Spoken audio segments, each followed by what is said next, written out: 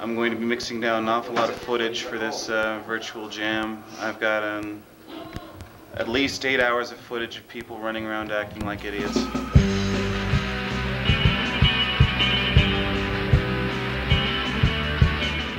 The creativity of, of Las Vegas peaked in, in, the, in the 90s. We had a wealth of coffee houses and artists and poets and musicians all being engaged at the same time.